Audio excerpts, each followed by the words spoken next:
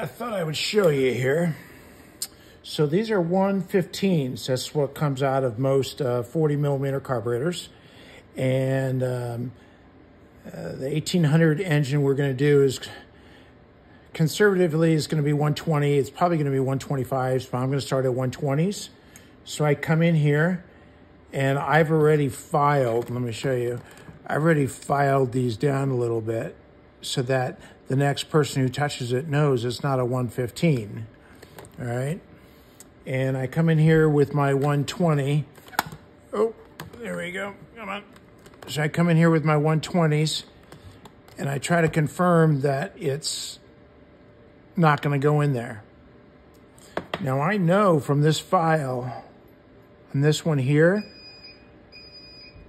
that red starts right around 115 and then the start of the blue is about 125. Um, so I'm going to go about halfway or a little bit past the red. Always conservative. Almost goes in there. We're going to try it just a little bit more.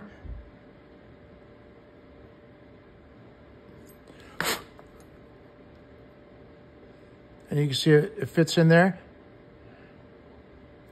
I'm going to just confirm that I didn't make it too big.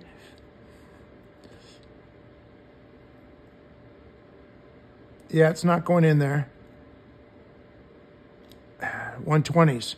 So, and we do the same thing with the idle jets.